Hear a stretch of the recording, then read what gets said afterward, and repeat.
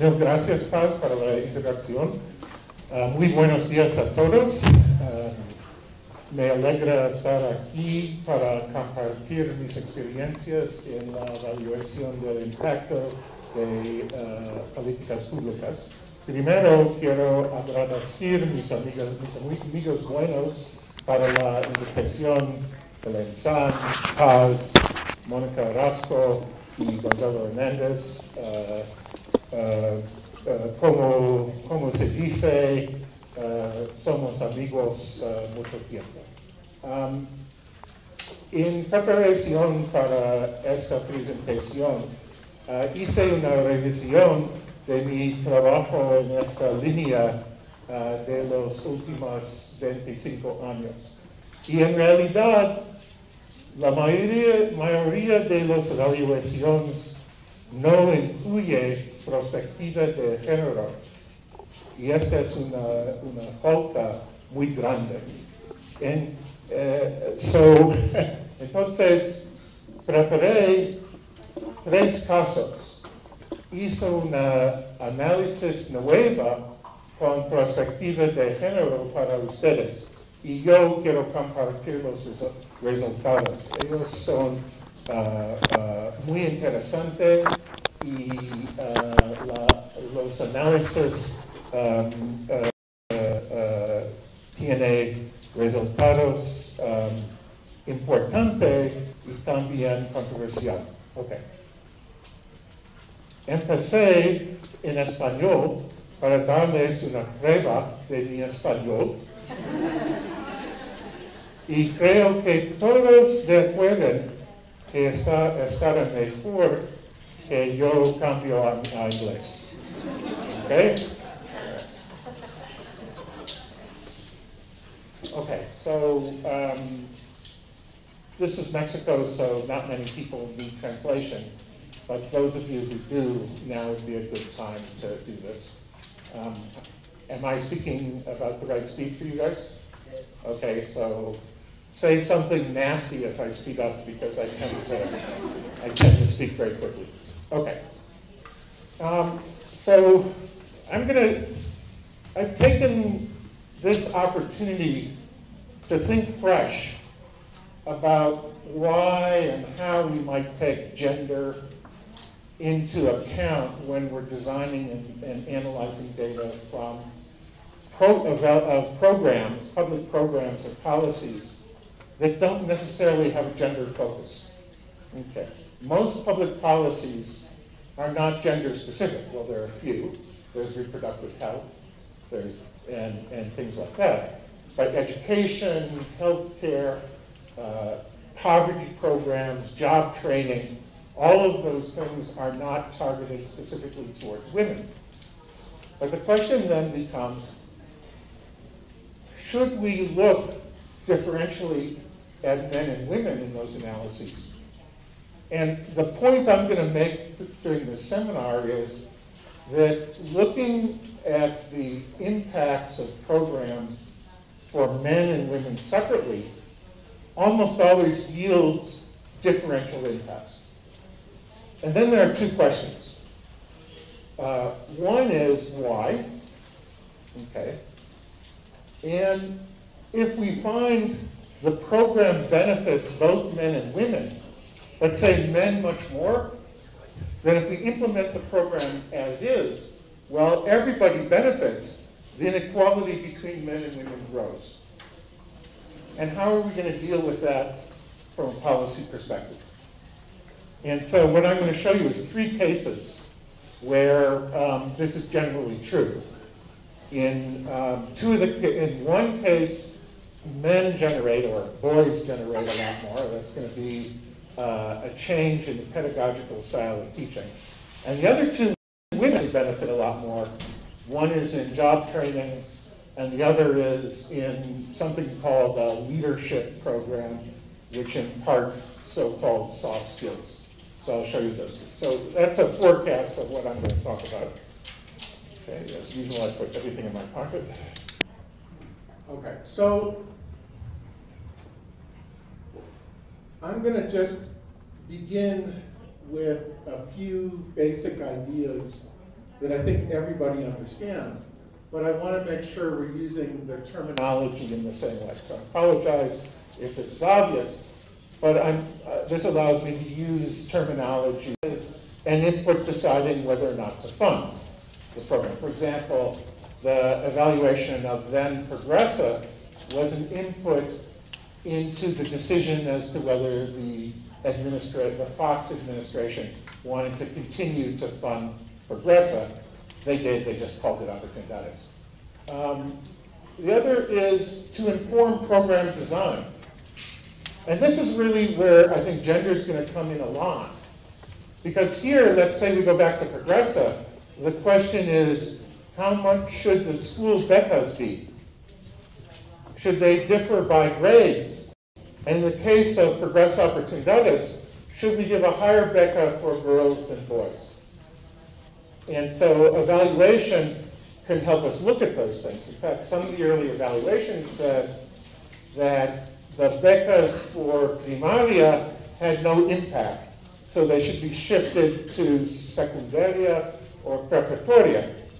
And there was strong support for higher becas for girls than boys, especially as you go up the grades. The evaluation informed us that those designs would have larger impacts, would be uh, more cost effective. And finally, as a means of influence on the ideas. So the public policy debate needs evidence if it's going to be evidence-based. And, uh, and so I think that's one of the major impetuses for a meeting like we're having today. Okay, so um, why do why do impact evaluations separately for men and women?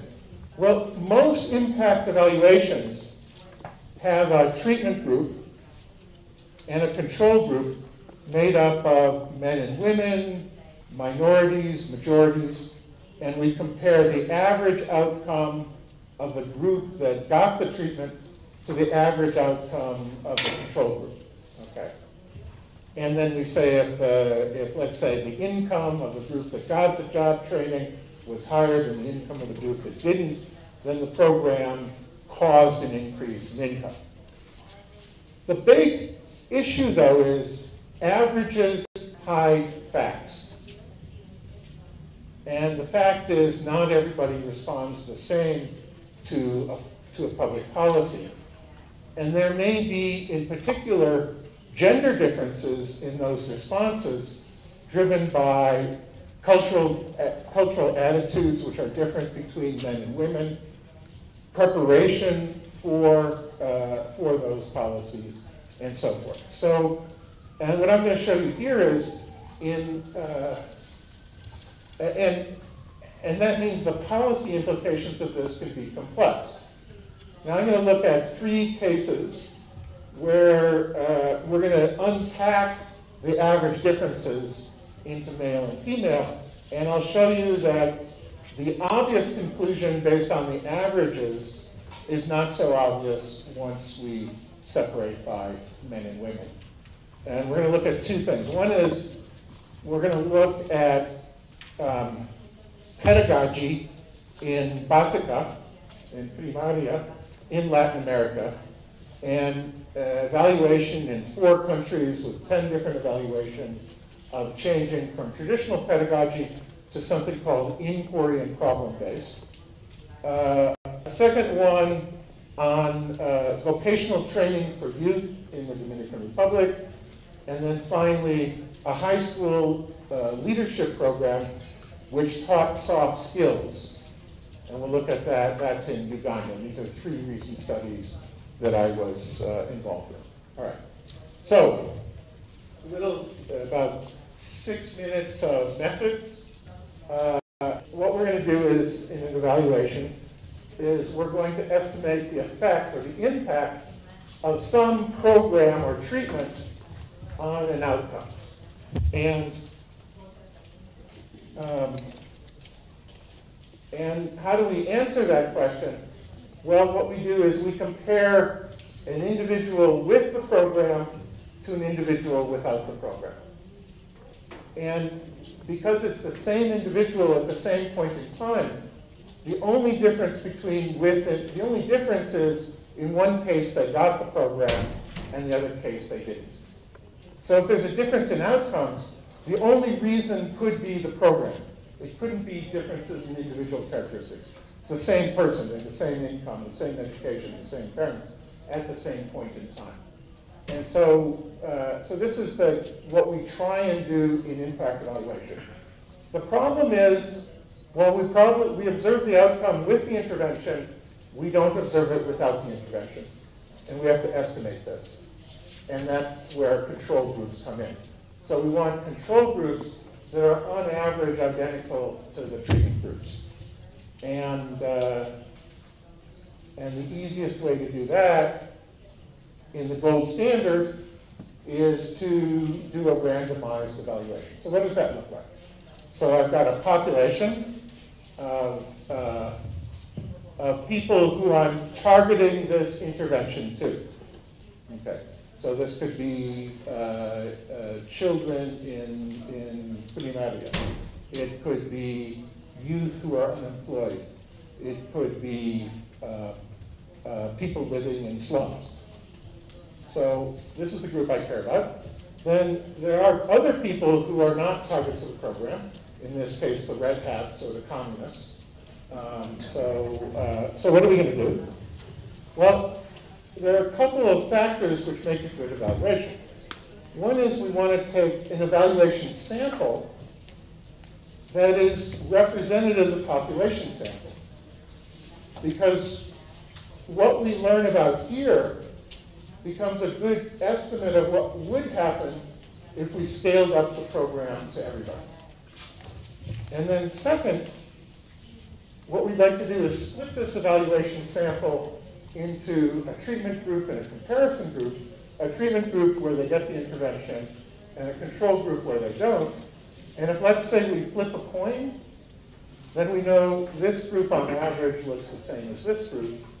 And the differences between here, between the treatment and control group, because they come from a representative sample, will be good forecasts of what would happen if we scaled up. And so this yields two properties of evaluations we want. One is external validity. The group of people or institutions we're working with are representative of the population to which we'd like to scale up the program.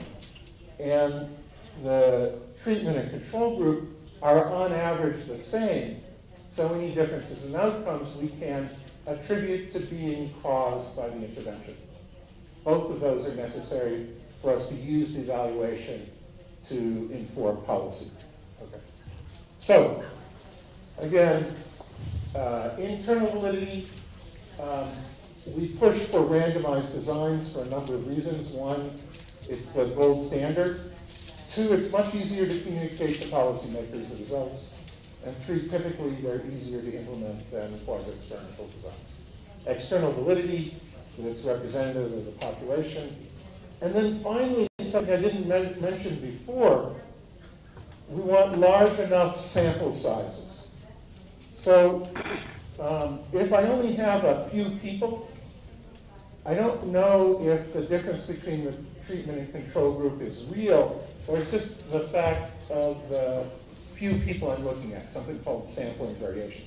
So I want large enough sample sizes so I'm sure with a lot of confidence, that that difference between the treatment and control sample is real. Now, where does that come into gender? So most, most studies choose a sample size so the overall averages are, uh, are, are large enough to distinguish between the treatment and control group. But if we also want to ask what's the impact for men and for women, we need to double the sample sizes. So we need to have substantially larger sample sizes to be able to do the analysis by male and female. Okay, so enough about methods. Let me uh, talk about these three cases. So I'm going to look at this inquiry and problem-based pedagogy. Um, students uh, learn better when they play an active role in learning through doing tech tasks and social interaction. Traditional teaching, uh, which is done throughout Latin America, where the teacher lectures, students listen passively, and then they, uh, they um, do some work in a, in a workbook trying to remember what they said or what they read, really isn't conducive to fostering critical thinking or inspiring interest. So what does inquiry problem-based uh, learning do, pedagogy? It creates problem-solving uh, opportunities for students.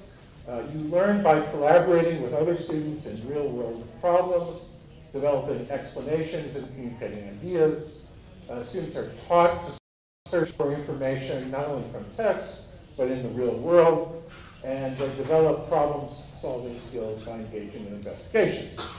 Um, for example, let's look at a science example. Um, traditional pedagogy on the body would copy facts from about uh, bone tissues and the 206 bones in the body, uh, and then they would answer questions based on the lecture and text. In IPP, teachers pose research questions, guide through students through the formulation of questions and testing of hypotheses. For example, what do bones help people do? That's a question. Why are bones important to people? Well, students start by researching bones in texts, texts and direct observation. And they might ask, what would happen if people had no bones? And they could answer that by constructing clay figures with uh, toothpick bones and then ask what would happen to the arms and legs if those toothpicks were removed. And they could see it visually through the clay. Or they might ask, how does the loss of calcium affect bone strength? Well, taking chicken bones and putting them in vinegar extracts the calcium, and you can start to see them deteriorate. Um, another example in math might be, let's build a lemonade stand and sell lemonade. And then they would go through the mathematics that are needed to figure out how to make the lemonade. Uh, how many lemons would they steal from my tree? Uh, how much sugar would they put in? Uh, get the proportions right? what was the cost of that, how much would we have to sell it at to make a profit, and so they learn the mathematics in the context of doing these things. Okay. So, uh, we did 10 randomized controlled trials in Argentina, Belize, Paraguay, and Peru, in, uh, in basically grades in uh, and we looked at the effect on test scores. Okay. Here, here uh, was something uh, that I liked a lot, you may not, um, which is there are two effects of this pedagogy. One is I teach you using this method today, what happens to your test score today? But in education, there's something called dynamic complementarities, which means how much you learn in math today Depends on how much math you knew at the first day of class. Or all learning depends on your ability to communicate, your language skills. If you have weak language skills, you're going to learn less. If you don't know algebra, you're not going to learn trigonometry. And so what that says is that the effect of IPP on learning not only affects how much you learn today, but also tomorrow because it better prepares you for the next class. And we're going to take account of those dynamics, because what that says is that the treatment effect of IPP will grow over time. Okay. And it's a function of how much you knew coming in. All right. So here are uh, the treatment effects the first year uh, for the 10 studies. Uh, these were in mathematics, Argentina, Belize, Paraguay in 2011, Paraguay in 2013, and Peru.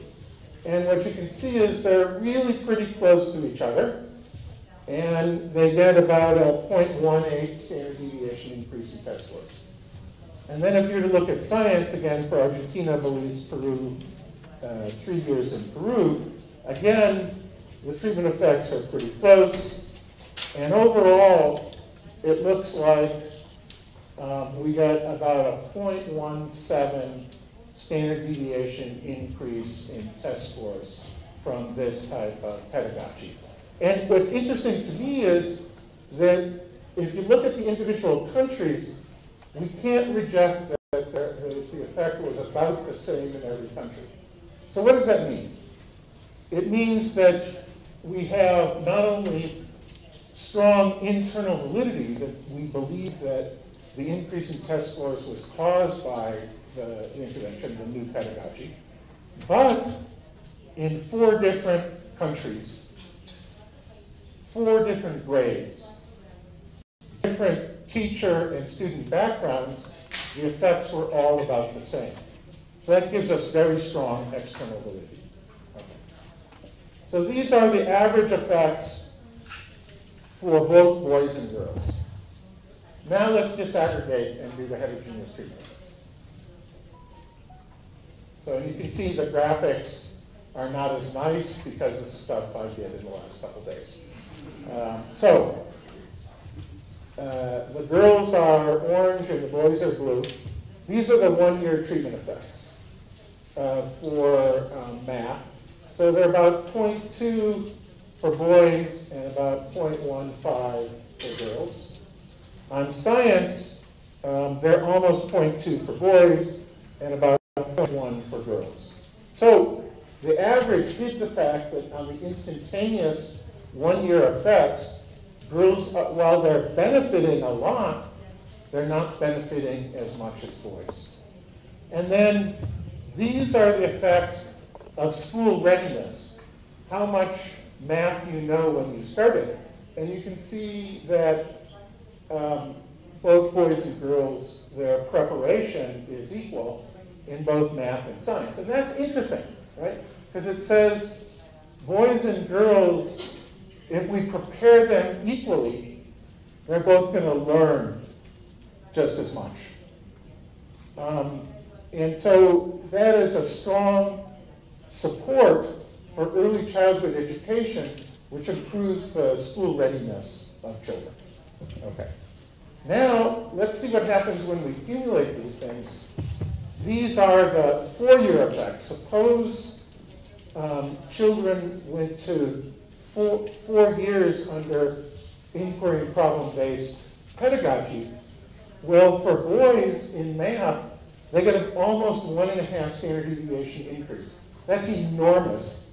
And girls get slightly less than one, only two, two-thirds the effect that boys get. And in science, boys get about one standard deviation, girls about a half. And so girls lag behind 50%. So this is a really interesting consideration for public policy. So one is if boys and girls are equally prepared, they learn just as much. But if we add into that this inquiry and problem-based pedagogy, both boys and girls learn a lot more. These are massive education effects. But boys, boys earn, learn a lot more. So what this has done is, while it's made boys and girls better off, it's created massive inequality between boys and girls in terms of their learning. Boys just, this intervention leads to a much larger increase amongst boys and girls. So then the question becomes, why? So is it something about the curriculum which exploits the cultural habits of boys or what we encourage them to do and not girls? So do we need to change the pedagogy to make it more uh, more uh, uh, appropriate for girls to take advantage of? Um, or do we need to supplement what we do for girls so they get as much benefit out of this as boys? So just from this, uh, that becomes important. And then second, suppose we can't find a way to do that. Well, if, IPP is good for both of them, but it widens the gap, what are we going to do? Are we going to not do the policy because of, uh, of it raises gender inequality at the cost of lower education? Now, I don't know the answer to that, but it raises a public policy question that I hadn't thought about before, and I wouldn't have had I not done the analysis separately for boys and girls. Okay. Job training in the Dominican Republic. And uh, we're going to look at 16 to 29 year olds who are unemployed with less than secondary education. Um, we're going to give them some vocational skills, carpentry, uh, beauty salon, uh, uh, things like that. We're going to give them some soft skills, which are basically, let's see, uh, which are uh, building self-esteem, conflict resolution, communication, all the types of things we're hearing are necessary to be good on the job, and then uh, an apprenticeship. Okay. So again, this is a randomization. Um, and here I've separated men and women. And women are now blue and men are now orange. And these are a series of soft skills that come out of the program. After three years, girls had substantially more perseverance. I will work hard to complete the task. They had more ambition. I care about this and I want to do this and I want to be good. Leadership, conflict resolution, social skills, organization, and communication. So they built up a lot of skills. Men did not. Okay, why? Don't know. Then the other thing the job training did was for both men and women, it created expectations. It said, I expect to have better job opportunities and I expect to have higher income. So I'm training you in skills, but also I'm telling you if you get these skills, you're going to make a lot more money. You're going to get a good job. What happens?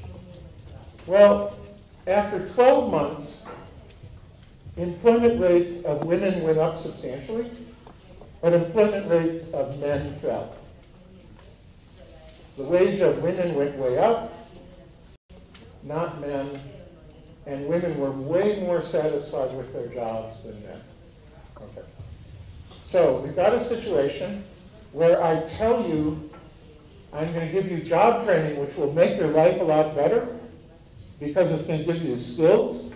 For men, I don't give you skills, but I raise your expectation. For women, I give you skills and I raise your expectations. In the first case, I'm setting up men to be disappointed. Right? They don't get the skills, so they don't do better in the labor market. They had higher expectations, they weren't satisfied, so now they're worse off.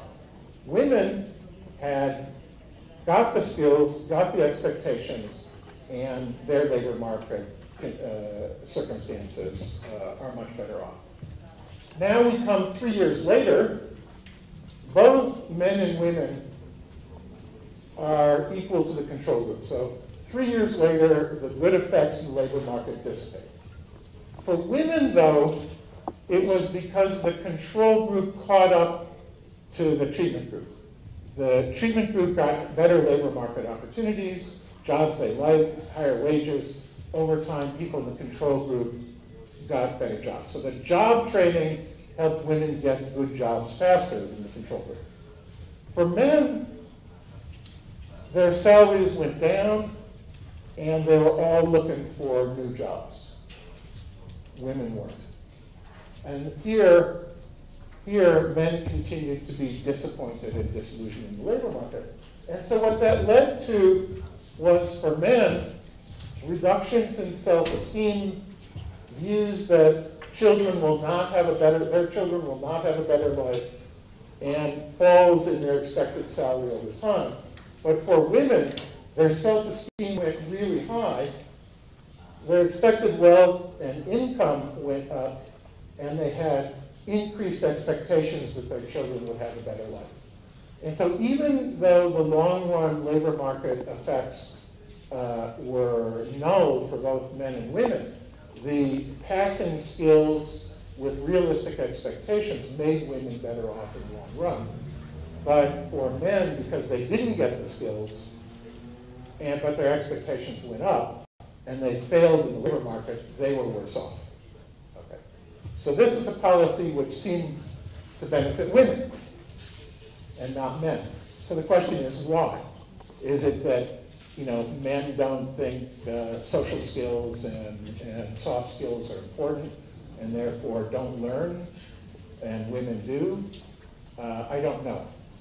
But that's the next step this. We're trying to, to figure that out uh, in order to make this program not just for women, but also for men. Okay. All right, so now let's finally look at this um, high school leadership program in Uganda. And this is a program which takes uh, uh, students in preparatoria, in the last two years of preparatoria, and says, can we create community and business leaders? And so what train them is, what is leadership? Leadership is developing a vision, figuring out a plan to implement that vision, and motivating a group of people to implement and complete that vision. And it requires not just technical skills like putting a budget together and things like that, but it requires both intra and interpersonal skills. I need to be able to communicate with you. I need, I need to tell you why this plan is in my interest and in your interest. I need to make it win-win. So I have to have interpersonal skills of communication. But I also have to have interpersonal, intrapersonal skills. I can control my emotions. I don't get upset. I don't get anxious. I'm calm. I'm able to, to, to complete the test. And so a lot of this program was all about imparting inter and intrapersonal skills. So we have this large randomized trial. We followed students four years after they got the training. And what we're going to look at here is how these skills affect their, I'll call it demographic life. Who did they marry? Um, what's their fertility rates? What's the nature of violence uh, within the relationship? So let's look at some of those uh, outcomes. So the first thing is I want to show you that this leadership program imparted a large increase in these soft or social skills. So this is something called grit. Grit is I'm going to do it, right? I'm going to persevere.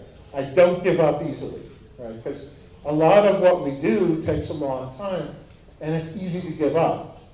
But those people who work hard and persevere are the ones who endure. Both men and women gain, women gain more. And then three sub, and then a sub is how passionate about am I about what I do? Again, both gain, women gain more than men. Perseverance about the same. And then creativity, how creative you are. And women's increase in creativity goes way up. Men's goes up, but not as much. So we're starting to get a theme here. This looks a lot like what we found in the Dominican Republic, that the, um, the uh, soft skills, women seem to acquire them in, uh, acquire them in larger amounts uh, than boys. Okay, stress. Both of them are better able to manage their stress. Self-efficacy, that means how much in control of my life do I feel? Do I feel like my actions can lead to an outcome? Those are true for both uh, men and women. And then an interesting index, how much do I care about my neighbors? A, a pro-social index, my community activism. And the effect on women is about twice as what it is on men. All right, so now let's look at how these skills affect the type of partner you find. Well, for girls, they're getting a better educated partner. For boys, there's really no effect. Boys, though, seem to find much wealthier partners and partners with higher social standing. So men go for money and social standing, and girls go for education. Okay. But in both cases, men and women, these skills seem to affect them getting a higher quality partner. Okay. Now, fertility outcomes. Um, these are ever pregnant, of partnered um, uh, respondents. Uh, both of them have a reduction in um, whether or not they've had a child within four years, but women have a much larger reduction in the number of children over that four-year period. So these skills help women control their fertility, and we've got results on contraceptive use that are uh, consistent with this. Um, and now let's look at, at violence. So a lot of this violence, so there are two measures of violence. One is uh, measures of social acceptability of violence, the SASA index, if any of you know what that is, um, from the DHS. And so um, they're in relationships where women, where there's a massive reduction in the social acceptability of violence, uh, not so much for men. And more importantly, there's a very large reduction in physical violence against uh, treatment women in this uh, in, in, this study. So, um, so the, this is some evidence that um, this type of intervention in high school, focusing mostly on improving inter and intrapersonal skills, led to both men and women finding better partners, higher quality partners, uh, lowering fertility, and lowering violence, uh, both attitudes and actual physical violence. Okay. And again, the effects both on skills and on um, violence and fertility are much larger for women than they are for men. Okay. So takeaways from this whole talk. Average impacts hide heterogeneity. They hide important differences between men and women. Uh, often policies and programs affect men and women differently, and we need to document that. So that means we need to have evaluations which look at impacts on men and women differently.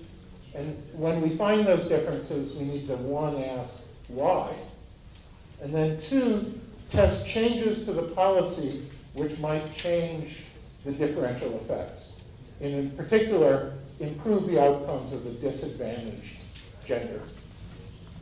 Um, now, as I talked about before, once you start looking at gender differences, uh, the, policy the policy discussion becomes much more complex.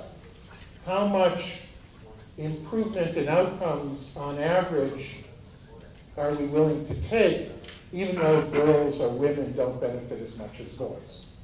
And so there could be a trade-off there, and that political discussion becomes complex.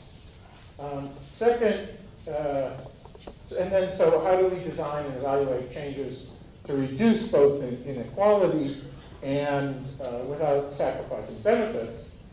And overall, what this means is we need to build gender differences into the evaluation designs, and particularly that means having much larger sample sizes so we are well powered to look at both men and women. And so for agencies like Coneval or government agencies that want evaluation, this means an increase in budget to do that. And so that's, that's a real debate that will take place. So uh, that's what I did on my summer vacation. And I guess we can have, uh, you know, what you want to do, take questions or uh, comments. I think I'm going to go back there.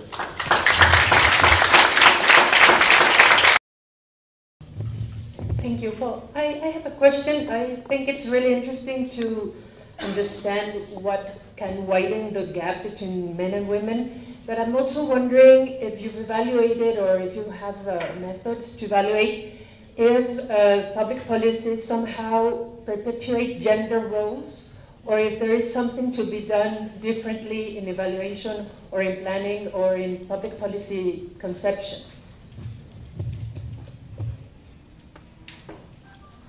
What's becoming quite clear is um, that uh, cultural norms uh, really affect the effectiveness of these, these policies and the inability of these policies to, um, to be effective either for men and women. So Um, uh, an example of this, uh, it's not a gender example, but it's an example of, uh, of why a lot of, say, labor, labor job training programs are not effective, is, um, is aspirations.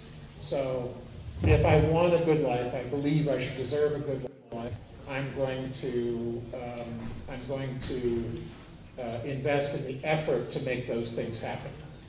And a lot of policies are devoted towards poor people who, for reasons of depression or deprivation and things like that, have low aspirations or a, a lack of belief. And so there's a lot of work right now. Can we combine aspirations, improve aspirations, along with these more, more technical interventions? And so that's about trying to take, uh, trying to change, in some sense, uh, the culture. And my belief is if we're going to look at these programs to improve women, we have to look at social norms and aspirations and things like that. Um, and so it's, uh, while I don't think uh, the work I, do um, looks at the perpetuation of these norms, they do say how, uh, how important they are and how addressing the, them is critical towards making progress on gender inequality. It's close.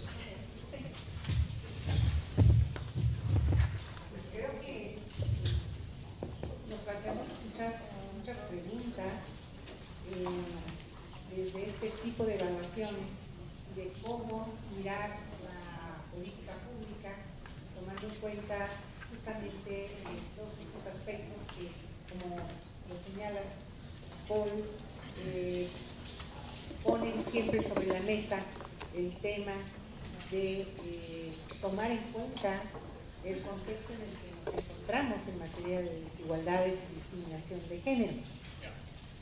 ¿Cómo nos podemos plantear aislar ese contexto para poder hablar de, resultados, ¿no? de impacto de las políticas públicas? ¿Qué mecanismos, si es que los has de alguna manera investigado, eh, podrían aislar ese efecto que eh, sabemos que en términos de género está siempre presente. La violencia, por ejemplo, ¿no? De género. So let me, let me make uh, two comments on that, or three. One is absolutely correct that all of these evaluations are within the social, social, cultural, economic context of the particular country or community uh, that they're working with. Um, to say something about that, though, one needs to look at these same interventions across many different contexts. Because if I only have one context, I can't say, well, how much of the context is important or unimportant. But if, let's say, I look at a context where the norm is women should stay at home, be pregnant, and cook, versus the norm is, you know, women are an important part of our, our labor force, well, unless I have those two contexts, I can't look at the differential effects of policies across contexts. In some sense, it's like what, was so amazing to me about the pedagogy, the inquiry and problem-based pedagogy study, where we showed um, a very large increase in both boys and girls test scores was that happened in four different countries with minority and non-minority at different points in time. And so that gave me uh, a lot of confidence that um, norms aren't going to, and context is going to less drive that. I suspect um, the Uganda results on leadership and skills like that are going to really vary depending on um, communities' attitudes towards violence or the role of women. Um, and so, but I just have Uganda. I can't kind of compare that and ask how important it is. So, as usual, what you raise is important, and I have very little answer to it. Sí, es, solo un comentario, eh, lo estoy pensando para el caso de México. Uno es que lo que tú nos presentas eh, eh, realza la importancia de hacer evaluaciones de impacto, en primer lugar, y factible hacer evaluaciones de impacto diferenciadas por sexo para los programas y políticas públicas. Como que eso lleva de manera natural a pensar en que hay que fomentar que se hagan evaluaciones de impacto de las políticas públicas diferenciadas por sexo en México. Ahora, el punto es que en general las evaluaciones de impacto son muy caras y no es factible hacer muchas evaluaciones de impacto, tantas como quisiéramos, de tantos programas o políticas públicas como quisiéramos. Entonces hay que priorizar. Y yo creo que aquí, desde el punto de vista de varias dependencias, obviamente desde el punto de vista de mujeres, desde el punto de vista de Coneval, eh, habría que priorizar qué tipo de políticas eh, valdría la pena invertirle para hacer evaluaciones de impacto de este tipo. Y yo creo que allá hay dos cosas que hay que tomar en cuenta. Uno, eh, qué tan importante es esa, esa, política o ese programa, es el primer criterio yo creo para seleccionarla. Y lo otro eh, es realmente qué tanto eh, se piensa que es factible que se va a utilizar la evidencia. Lo comento porque es muy frustrante eh, hacer evaluaciones de políticas y programas y ver que la evidencia no redunda en nada. Y, y eso cuando se hacen evaluaciones menos ambiciosas que una evaluación de impacto. Entonces, cuando se invierte tanto en hacer evaluaciones de este tipo, hay que tener, yo creo, en cuenta el, el, como un tipo de análisis de factibilidad de qué tanto se va a tomar en cuenta esa evidencia. Y finalmente, yo creo que el punto central de mi comentario es que para, para tomar en cuenta eso, hay que asegurarse de que estén involucrados desde el diseño de una evaluación de este tipo, que estén involucrados todos los involucrados, todos los stakeholders, para asegurarse de que de veras este, a todos les interesa esa evaluación y se va a hacer algo con esa evaluación. Es nada más un comentario. Gracias. Me parece que es un comentario provocador. Eh, creo que eh, podemos eh, abonar sobre, sobre este comentario que nos hace José Luis, en el sentido de pues qué tan caro es lo caro y qué, y qué tanto eh, una política, ¿verdad? Este, tiene que invertir en este tipo de evaluaciones. Eh, creo que podemos seguir bordando sobre el tema porque sí, efectivamente, hay eh, siempre esa visión, yo lo pongo sobre la mesa porque lo recordé ahora José Luis y Paul seguramente lo recordará también, cuando la evaluación de Progresa se planteó por primera vez, se consideró muy caro. Y en realidad, cuando una lo mira, pues no fue lo cara que se suponía que era, y los resultados de una política así, pues vieron, eh, fueron muy evidentes. Entonces, eh, yo lo pongo aquí sobre la mesa porque creo que es muy importante también, y Tania dio la palabra, creo que va a abonar en ese sentido, creo que es muy importante también tener presente, hay muchas formas de, de ver las evaluaciones, pero en concreto creo que este comentario que nos pone José Luis sobre la mesa, sí es muy importante que lo tomemos en cuenta. Quienes estamos del otro lado de la mesa, tratando de ver qué tanto impacto tiene el trabajo que estamos haciendo desde la función pública. Tania, ¿querías decir algo? Sí. Paul, muchas gracias por tu presentación. Siempre es un placer escucharte. Eh, ya retomando estos comentarios, yo creo que algo que saca también el tema, la presentación de Paul es cuando él presentó los resultados, cuando tú presentas los resultados, los presentas desagregados, justamente para hacernos ver que hay impactos diferenciados. Pero la idea también de tener evaluaciones de impacto perspectiva de género es desde el principio, desde el diseño de la evaluación, pensar efectivamente los efectos diferenciados que tienen, las, que tienen las políticas públicas en el contexto en el que se diseñan. Más allá de lo caro, que yo creo que esa sería la segunda derivada, la primera es la complejidad de pensar en estas, posibilidades. Entonces, algo que yo creo que también este es un buen espacio para ir reflexionando en dos días, es que a lo mejor el hecho de que de el diseño de evaluaciones de impacto con perspectiva de género es muy probable que apunte más hacia probar diferentes intervenciones que a retomar un, pro- un pro- un programa como ya está e identificar los impactos diferenciados más allá de la desagregación de sexo, ¿no? Pero yo creo que ese es un punto que deberíamos de retomar en este, en este, eh, en este seminario. I have to say, I have to say that um, of seminars I've done over the last 20 years, someone makes this com- comment, oh, it costs a lot of money. It's just, um, you also hear that when people say, we should have a child care program. It costs a lot of money. Or we should build new roads. Roads are expensive. Um, and so the question in my mind comes down to is, um, what's the value for money? Okay? So I teach in a business school. And I teach a, I teach a course now called Big Data and Better Decisions. Most businesses in the world are making, I think I'm the only one that you're translating for. Oh, no, sorry. But I, sorry, I apologize to the translators who are always abused. Um, So, so, um, so in business now, data and analysis become operating expenses. Uh, Facebook, anything you buy uh, over the internet is all data driven. Uh, customer service.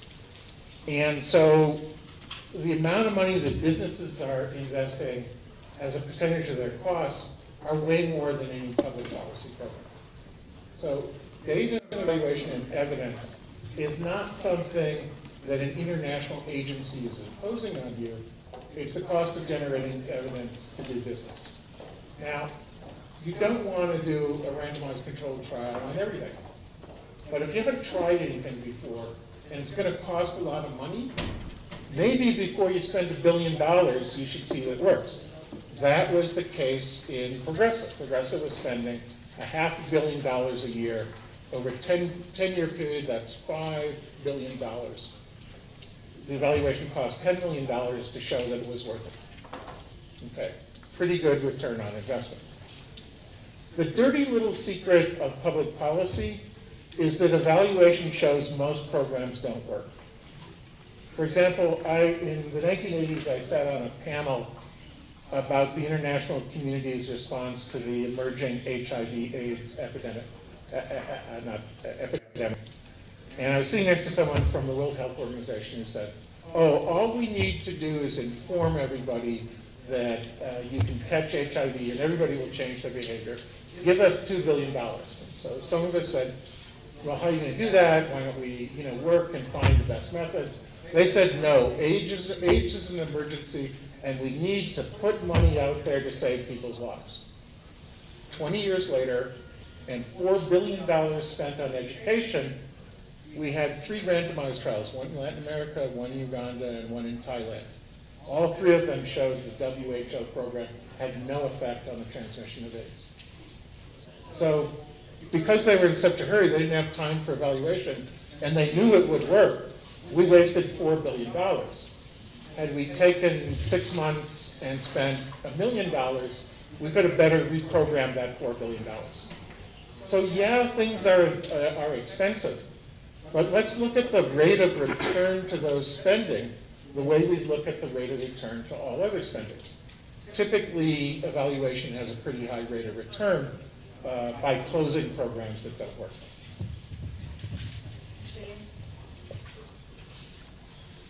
Eh, gracias. Gracias. Eh, yo solo quería hacer una reflexión. No.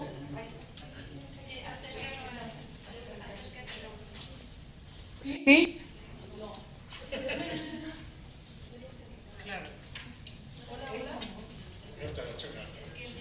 Hola.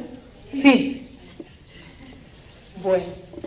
Yo solo quería hacer una reflexión sobre este punto porque creo que es de la máxima relevancia para lo que nos ocupa aquí. eh, y, y- y son dos, dos elementos que creo que Paul en, en su presentación eh, relevaba con, con ejemplos muy concretos. Eh, y, y lo, lo habla de mujeres en términos de eh, una institución que trabaja en políticas de igualdad en el apoyo a la implementación de políticas de igualdad, eh, pero que al mismo tiempo promueve la, la, realización de evaluaciones. Entonces, por un lado, yo creo que eh, es, es, muy interesante pensar en cómo factorizar el costo de la evaluación en el diseño de las políticas. Creo que tenemos ya suficiente evidencia sobre por qué debemos invertir, pero que la respuesta a esta a este dilema no debe estar solo desde, la, desde, las instituciones que llevan a cabo las evaluaciones, sino desde las instituciones que usan las evaluaciones. Entonces me parece que, que realmente tenemos una reflexión que hacer en términos de cómo eh, tener una mirada mucho más costo efectiva en torno a la inversión en evaluación. Y creo que todavía tenemos un dilema en ese sentido de las instituciones públicas de América Latina porque no hemos sido del todo capaces, y creo que México es uno de los países que más ha invertido en evaluación comparado con otros países, pero todavía no somos capaces de verle el, el, el beneficio a, la, a, esa inversión y, y, desde luego en términos de políticas de igualdad todavía eh, creo que tenemos que hacer advocacy en términos del valor de la inversión. Pero otro de los temas que nos inquieta desde mujeres es justamente el hecho de que eh, el uso de esa evidencia parece ser todavía muy limitado. Y pareciera que seguimos hablando en muchas ocasiones desde dos universos paralelos, ¿no? el que hace la evaluación y el que usa los resultados de la evaluación. Y quizás eh, sería importante a lo largo de este seminario el poder eh, identificar, eh, tenemos suficiente evidencia que nos indica que no mirar el el, el, resultado diferencial o el impacto diferencial que tienen hombres y mujeres en una política, eh, de hecho, genera que la política no tenga el resultado que estamos esperando. Entonces, ¿de qué manera podríamos a lo largo de los paneles de este día, digamos, recabar eh, esa, esa eh, evidencia que ya tenemos sobre eh, las evaluaciones que hemos hecho, que nos indican que de hecho sí necesitamos una inversión en un enfoque diferencial y en un enfoque de género y a partir de allí eh, generar un mayor nivel de compromiso por parte de las instituciones en el hacer de la política pública para usar esa evidencia. Y creo que ese, ese puente que es muy evidente, muy repetido, reiterado, eh, ya no debería ser más, digamos, una excusa en términos del uso de la evaluación, porque tenemos ya por lo menos dos generaciones de evaluaciones con evidencia en materia de igualdad de género que permita eh, pues la toma de decisiones mucho más informada. Entonces, ojalá que del seminario podamos sacar también algunas recomendaciones muy, puntuales a las instituciones usuarias de la evidencia eh, que permita pues también tener mayores recursos a la hora de abogar por presupuestar evaluaciones en el, diseño propio de la política. Eso Gracias. Quería Hablando y en relación con lo que comentaba Tania, eh, mi pregunta va en torno a cuál tendría que ser nuestra unidad de análisis de impactos. Porque aquí nos hemos centrado sobre todo, y los costos se incrementan, por supuesto, en programas presupuestarios, ¿cierto? Cuando muchos programas presupuestarios son un conjunto de ellos los que nos abonan a una estrategia o una política. Y por supuesto se vuelve incosteable cuando lo pensamos por programa presupuestario, pero también me parece que se vuelve eh, ineficiente porque estamos dejando eh, fuera del análisis correlaciones posibles con otras intervenciones. Entonces, mi pregunta, Paul, sería, eh, en su experiencia, ¿cuál es una buena forma de plantear un análisis de impacto que nos pudiera permitir diferenciar si es por una política entendida como una estrategia, si es hablar de una institución y todo su quehacer? Es decir, ¿cuál es una buena unidad de análisis en este sentido?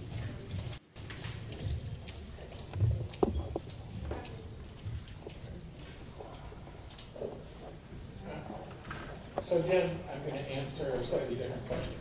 Uh, uh, so um, I tend to think that organizations should have a evidence strategy, an evidence plan. So um, what decisions do we have to make? What evidence do we need to that? Does it exist in existing studies or data in maybe a country like ours? If it does, no need to invest a lot in an evaluation. Is this something new and innovative where we don't have evidence somewhere else? and we're gonna spend a large portion of our budget.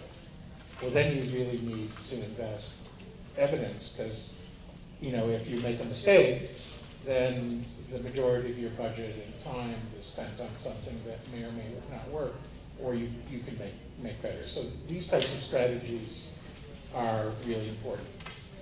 Um, Second, um, the idea that evaluations need to be started at the same time you start thinking about what the intervention is. You can't do an interve- a, a- a decent evaluation, a cheap evaluation, um, after the program's already been implemented.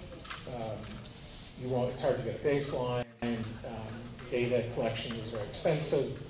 But more importantly, you can make it cheap by building into your monitoring and, and management database most of the data you need. So data is the most expensive thing in evaluation. So the studies I presented on um, uh, inquiry and problem-based uh, pedagogy, that whole study for all 10, all 10 evaluations cost uh, in total about $60,000 because we're able to leverage the data sets, data systems coming out of schools. Most education and most health evaluations can leverage databases so they're cheap. Um, and so um, now I know what you mean by unit of analysis is should be the individual or the community or things like that, right?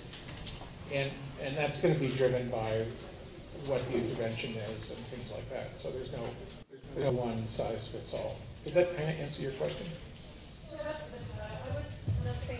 Uh, individual or community, whereas program or policy, you know, different strategies that really are all aiming at the same target or something like that. Okay, so, um, so it, uh, it depends what the level of, it, it depends what the level of the unit of intervention is. So if I'm intervening at a, inter- intervening at a school level, I can use all the kids in the school, um, and that's fine. Uh, if the intervention is giving tutoring to the kid, then the unit of analysis has to be the kid. Um, But, um, if I have, uh, let's say a school level intervention, and so, and I had individual data, where I had data where the char, I also had characteristics of the kids that also affected outcomes, by doing the analysis at the individual level, I can boost statistical significance power by analyzing the individual data. There's nothing wrong with aggregating up. Uh, so that's one answer uh, to that question. The other answer to that question is it depends on whether or not you can contain your intervention from spilling over to potential controls.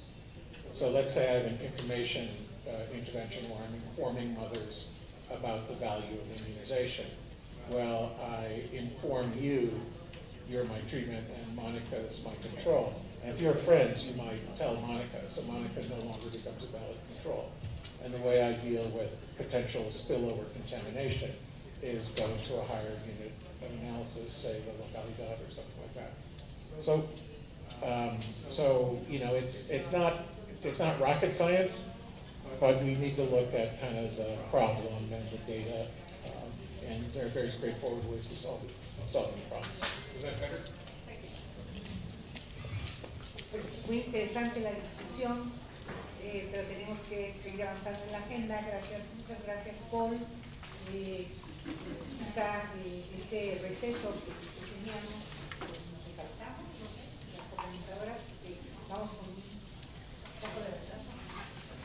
Hagamos una pausa, una mini pausa, sugerimos, de menos de cinco minutos, que les, si les parece bien para ir por agua café o, o, o